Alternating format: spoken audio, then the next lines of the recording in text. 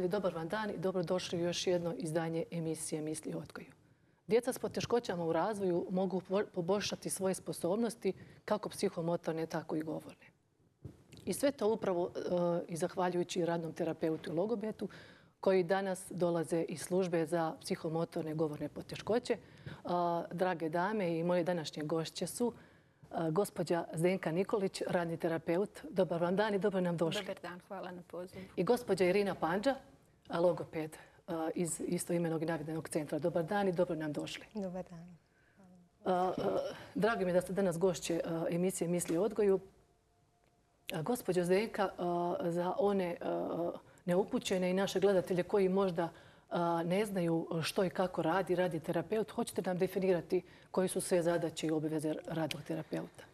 Pa, po međunarodnoj konferenciji radnih terapeuta. Ja ću parafrazirati definiciju koju oni koriste, a to vam je skup kineziterapijskih, kreativnih, rekreativnih i edukacijskih aktivnosti koje utiču na fizički i mentalni status pacijenta, odnosno osobe s kojom mi radimo, a to sve ide u smislu poboljšanja životnih uvjeta koje predstoje pred pacijentima. Znači, za poboljšanje kvalitete življenja kod takvih ljudi koji imaju poteškoće. Najveli ste da radite samo s djecom do polaska u školu.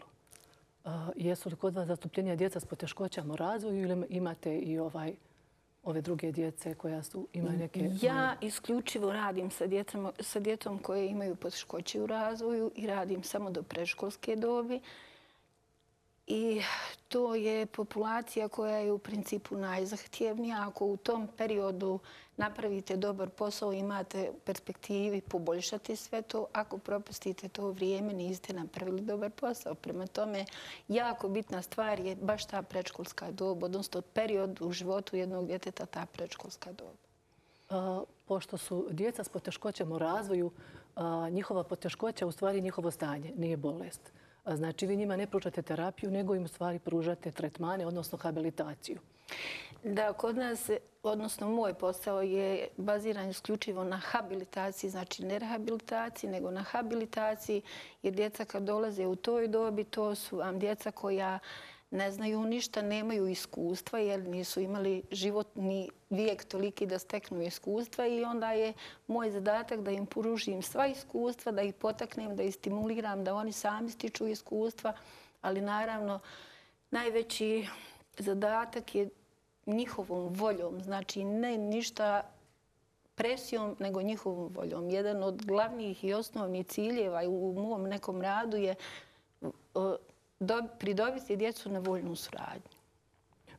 Ko vam sve upućuje djecu? S kim sve surađujete Pa obzirom da radna terapija nije na našim prostorima prepoznata kao takva, e, početak je bio u mom poslu, u našoj službi, je da su naši psiholozi koji su prisutni u našoj službi kao dio tima upućivali djecu A onda se dogodilo to da su druge struke prepoznale radnu terapiju kao nešto što je potrebno, nešto što je neka, recimo, nadopuna svih aktivnosti koje bi dijete trebalo biti, nadopuna jednog stručnog tima. Tako da sada, recimo, djeca na fizijatriji, sa fizijatrije, obavezno su upućene u našu službu obavezno radnom terapeutu, a isto se događa i sa pedijatrijom, odnosno neuropedijatrima, koji dok uoče probleme, oni to redovito šalju nama pacijente. Tako da kažem, sad je toliko puno pacijenata koji dolaze sa svih strana i meni je drago da je prepoznat naš posao kao takav, odnosno mene kao radnog terapeuta, jer sam nažalost, ja jedina na, na ovim prostorima koja se bavi time, ali mi je drago da su prepoznali taj posao i da vide da je to jedna, jedna stavka u našem timu, odnosno u timu habilitacije, vrlo, vrlo, vrlo bitna. Uh, gospođa Irina, uh, uh, vi ste također bliska suradnica gospođe Zdenke. Većina gledatelja pretpostavlja zna što i kako radi logoped. Vi se bavite djecom s govornim poteškoćama. Jesu li kod vas jednako zastupljena i djeca s poteškoćama u razvoju? Imate i djece koja nemaju poteškoće u razvoju, nego samo poteškoće neke govorne? Govorne. Ovaj, pa kod nas u službi uh, jednako su zastupljena, ako ne i više, uh, djeca sa drugim teškoćama, ne samo sa govornim teškoćama. Ovaj, tako da, da je to u službi podjednako uh, podjednak postotak.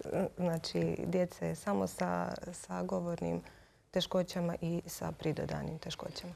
To su neke možda kombinirane poteškoće, je li? Tako je, kombinirane Što vi mislite iz svoga iskustva, obzirom da se čini se pomiče granica usvajanja govora, koji su sve mogući uzroci sve kasnijeg usvajanja govora kod djece? Pa u zadnje vrijeme je moderna tehnologija nekako najveći uzročnik sve kasnijeg usvajanja govora. Znači, djeca su e, orijentirana na te ekrane e, koji ne uzvraćaju komunikaciju i dovodi do toga da djeca sve kasnije ovaj, usvajaju i jezik i govor i sve kasnije komuniciraju uredno. Znači, te se granice pomiču zahvaljujući.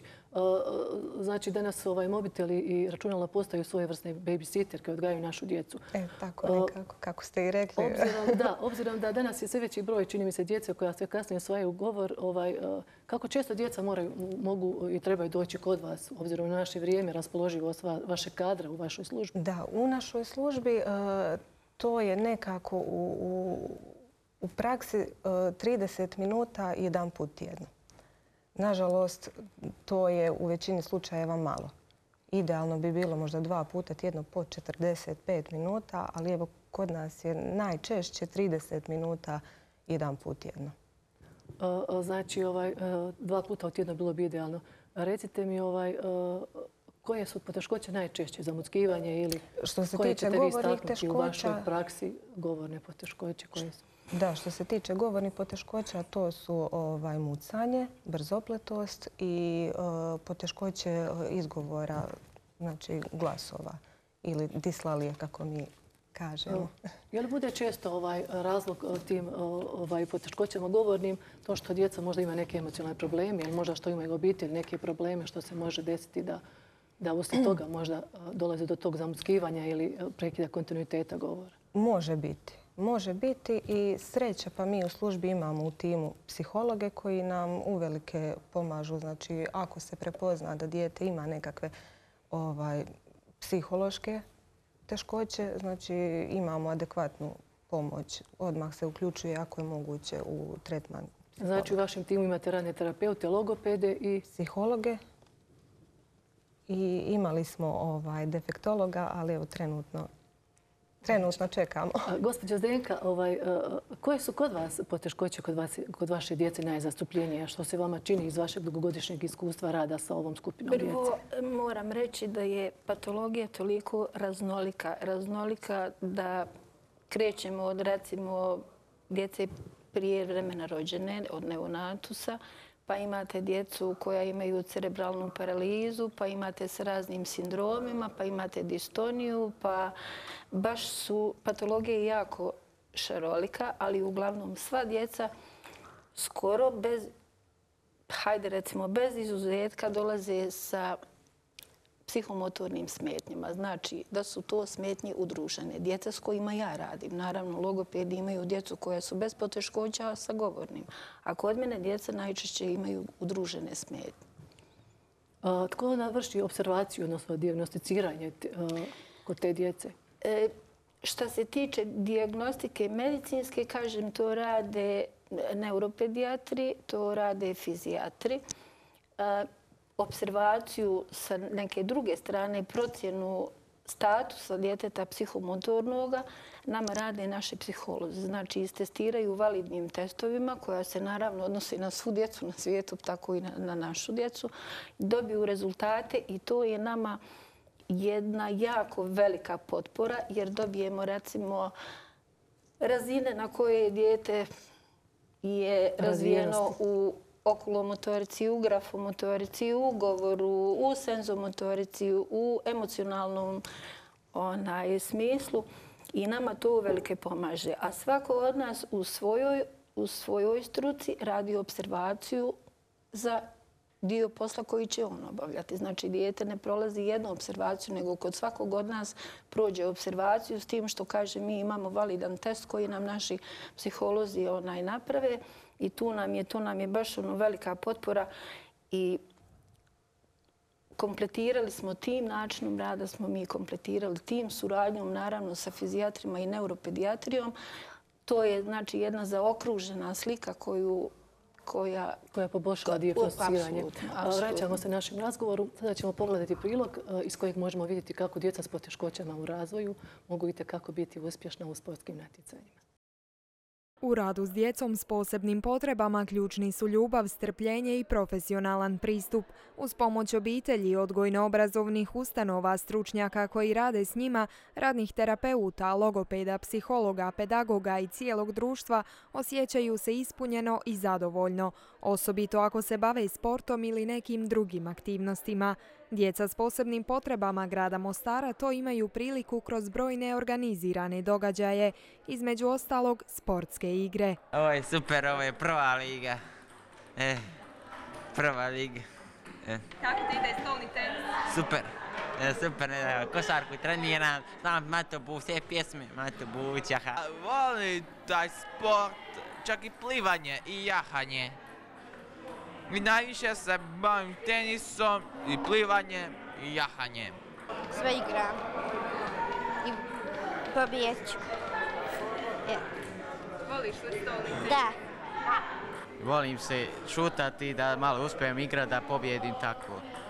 Da... Što još voliš raditi? Moli, volim, volim raditi kuglanje, šutanje kugla i da uspijem da, da pobjedim. A što ćeš dobiti ako pobjediš? E, nagradu. Nagradu koji, koji najbolje igraju.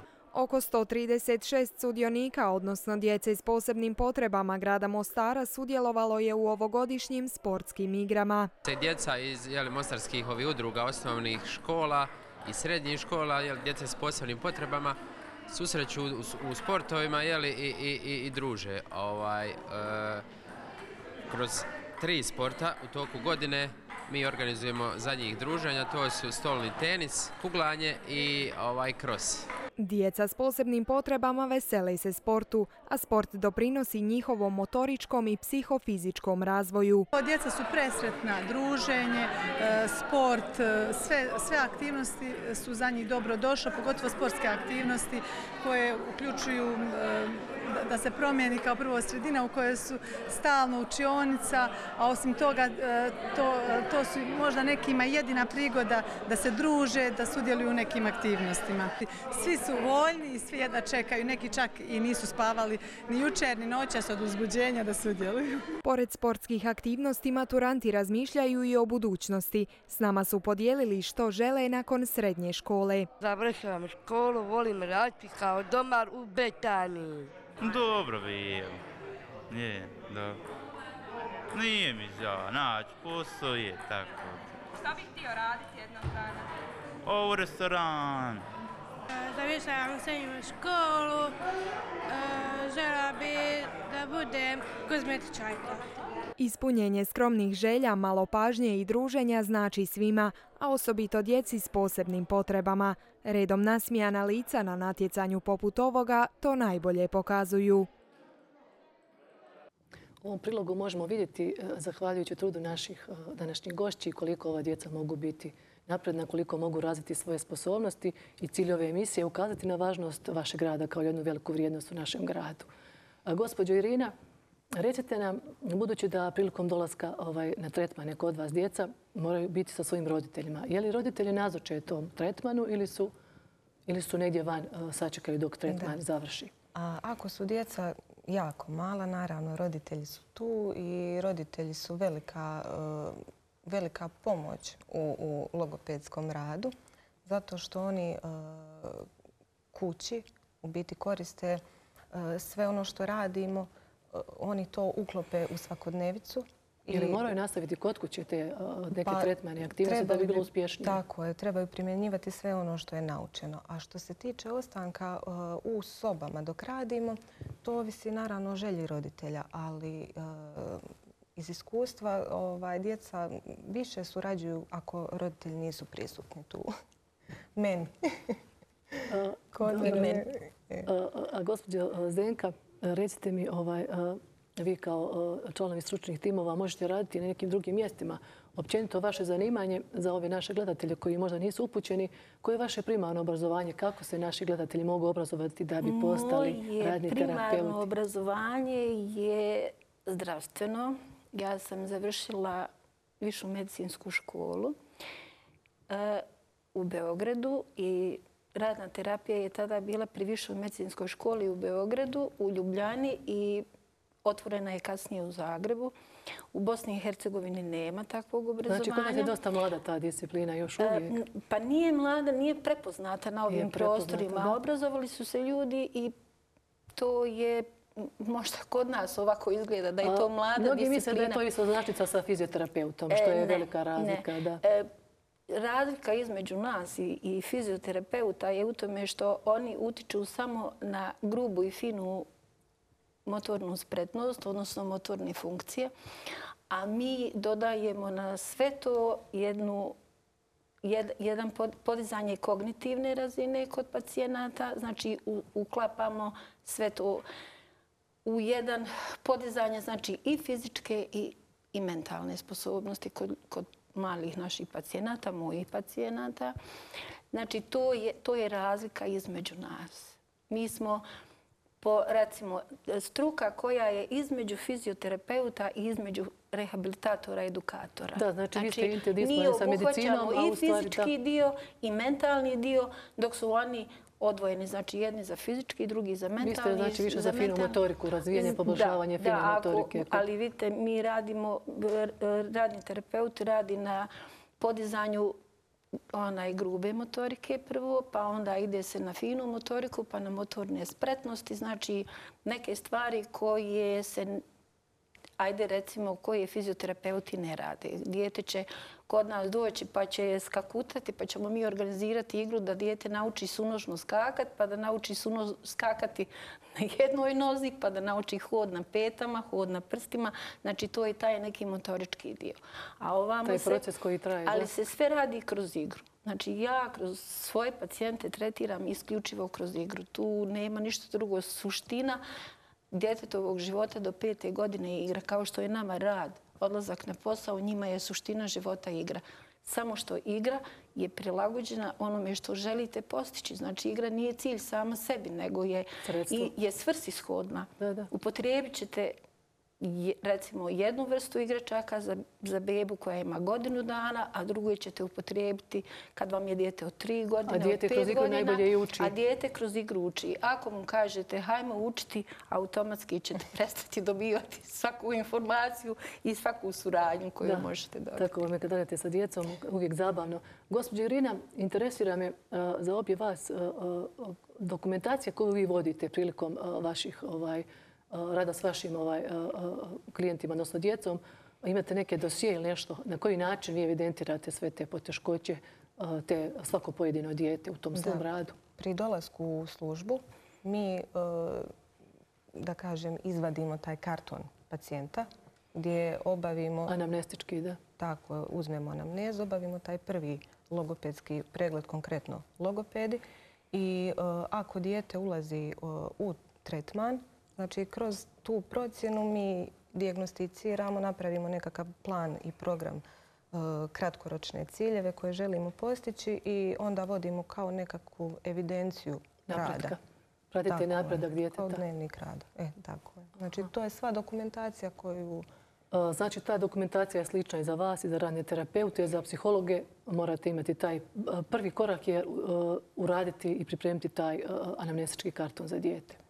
Pa tako je, to je prvo što se radi kada dođe. Da, i onda svako od nas vodi... Bilježi za sebe. Svako od nas bilježi šta je odradio, šta je uradio, tako da postoji pisani trag onoga što, što mi odradimo.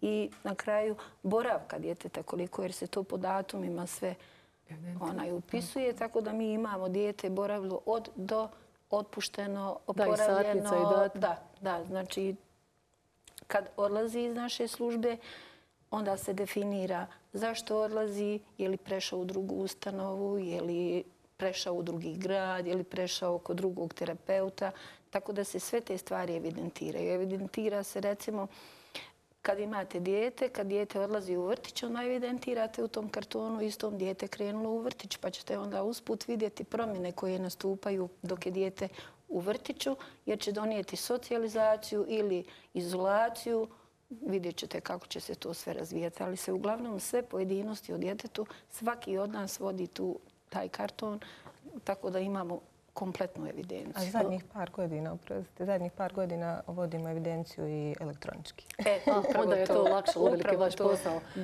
Budući da se ovaj, u razvoj djece, kako djece s poteškoćama, tako i ove ovaj, djece koje nemaju poteškoće, ističe da su one prve tri najvažnije za svaki neki postupak. I, ovaj, volila bih staknuti i pitati vas, e, rekli ste mi da suređujete sa vrtićem e, Sunčani most koji je jedini u našem gradu. Hoćete nam reći nešto e, našim gledateljima o tom vrtiću, kako na koji način surađujete i s kakvom se djecom susrećete tamo? Pa ja sam sticajem okolnosti kad je prije osnutka vrtića upoznala osobe koje su bili inicijator osnivanja vrtića i onda su me oni molili da im budem stručni suradnik, spoljni suradnik, e, obzirom da je taj vrtić bio prvi vrtić u gradu Mostaru koji je primao djecu sa posebnim potrebama. To ne treba zaboraviti. I još uvijek je ostao jedan, jel? Ne, sad i gradski vrtići apsolutno primaju, što je jako pohvalna stvar. Sad i gradski vrtići, ali naš vrtić Sunčani most je bio prvi. Znači, u grupama od po 20 djece bilo su primljene dvoje djece sa posebnim potrebama. I dobra je stvar bila što su tete bile educirane, pa kad mi spoljni suradnici dolazimo, pa kad dajemo neke savjete, kad pravimo programe, jer mi pravimo programe za tu djecu recimo za tri mjeseca, pa obnavljamo opet, provjerimo rezultate koje smo dobili, pravimo novi program za tri mjeseca. Tete su educirane tako da su nas mogli slijediti tijekom vrtičkog rada.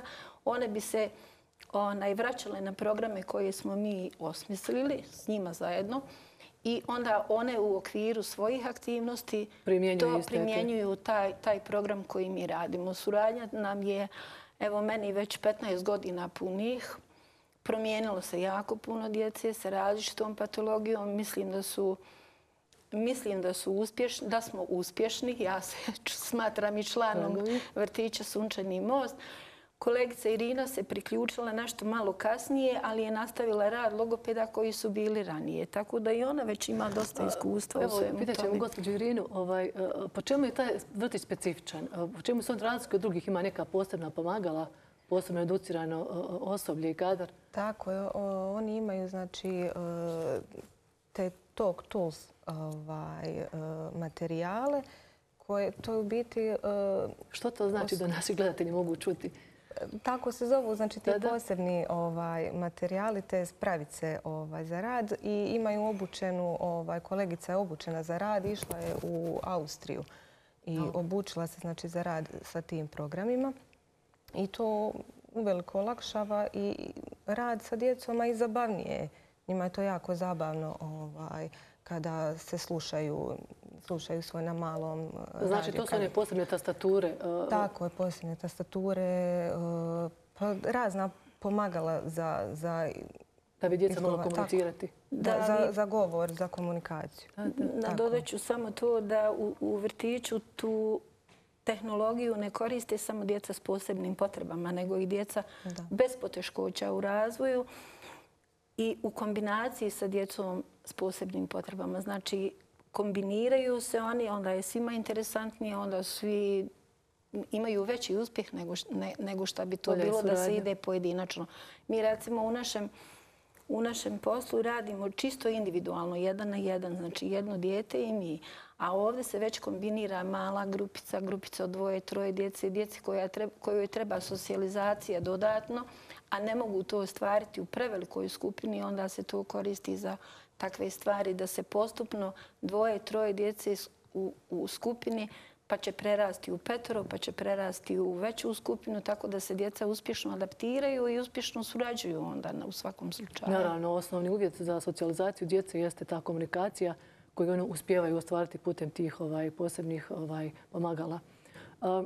recite nam, Je li vam se čini u tijeku vašeg dogodišnjeg iskustva da je broj djece s poteškoćama u razvoju možda u porastu ili... Pa, znate što, ja moram priznati da je broj djece u porastu. Mi nemamo relevantne podatke, ali iz našeg iz interesa roditelja i broja djece koje nama dolaze je činjenica da jeste u porastu, ali zahvaljujući tehnologiju medicini. Jer vi imate dijete koje se rodi, ne znam, kao neonatu sa kilo i 200 tehnologija, sve će mu pomoći, sve će mu pomoći da preživi, da ostane na životu. Ali, ali suština je toga što se niko u tom momentu, apsolutno to je životno ugroženo dijete, svi razmišljaju, ajmo, idi, spasit ćemo ga, spasit ćemo život, ostaće na životu. Ali kakva je kvaliteta života posle toga, to ostaju ti neurorizični čimbenici. Upravo znači, upravo koji utiču na razvoj mozga. koji kasnije izazivaju. Njegov kognitivni psihomotorni razvoj. Da, da, u tako, kad je dijete tako neurorizično, tu dolazi do razno raznih posljedica. Kažem, najčešće su to udružene smetnje i fizičkog, i, a i mentalnog zdravlja narušene. Tako da imate tu kombinirane smetnje za koje se morate dobro, dobro potruditi, uključiti cijelu obitelj u sav taj neki rad, što je ključna stvar. Ako dobijete roditelje za suradnju ili cijelu obitelj, braću, sestre, to ste već, recimo, jednu stepenicu preskočili. Jesu roditelji voljni surađivati kada ovaj, dovode svoju pa djecu? Pa moram priznati, ili moraju, ili ovaj, da u većini, nastavljaju taj tretman? U većini slučajeva će roditelji dati sve od sebe. Ali dogodi se nama da mi imamo roditelje koji odbijaju, ne odbijaju suradnju, nego odbijaju E, sebi priznati da je stanje tako kako jeste. Teško je to prihvatiti. Ja kažem, e, teško je to razumjeti, ali ipak na kraju svi roditelji se potrude da nešto naprave od svog djeteta, da mu omoguće neki bolji život, neke bolje stvari. Tako da, evo, ja kažem, te rijetko su roditelji koji baš neće surađivati. Neko manje, neko više, ali u principu surađuju svi. Gospodin Irina, evo i za kraj, pošto smo pri kraju naše emisije, je li se vama također čini da je ovaj broj djece koja sve teže i kasnije u svaju govoru porastu, budući da mi se čini da ima djece koja već, jako puno djece koja do treće godine ne usvajaju nikakve ovaj... Jeste, ovaj, ja Zdenka je rekla znači da napretkom medicine da se da znači, djeca ostaju ti neurorizični čimbenici koji kasnije uzrokuju nekakve teškoće u komunikaciji, e, jeziku. Što treba onda poručiti roditeljima? E, pa roditeljima treba poručiti da se bave svojom djecom, da ih ne prepuštaju ovaj, tehnologiji i naravno ako zamijete bilo kakve ovaj, teškoće, da se, da se slobodno jave u, u, u službu. Znači bilo kojem ovaj, stručnjaku. Znači, imate li neku poruku za kraj, za naše gledatelje? Ovaj... Pa ja, moja poruka je da ja da ja jako volim svoj posao, volim tu djecu svu koja dolaze. Oni za mene nisu djeca s posebnim potrebama i ne volim kad ih se tako tretira. Oni su različiti od nas, ali to definiranje djeca s posebnim potrebama mene uvijek boli. Pa evo, apeliram recite oni koji su različiti, koji su drugačiji od nas, koji su... Najavili se da prelazite u nove prostorije, to mi je jako drago, pošto sada radite u neuvjetnim, ovaj, neuvjetnim prostorijama. Želim vam brz prelazak u nove prostorije, da dobijete senzornu sobu, da budete uspješni u vašem radu i naravno hvala vam što ste danas bili gošće emisije Misli odgoju. Hvala i vama. Dragi gledatelji, hvala vam što ste i danas bili uz nas i emisiju Misli odgoju. Do idućeg susreta srdačan pozdrav i naravno ostanite uz program Naše TV.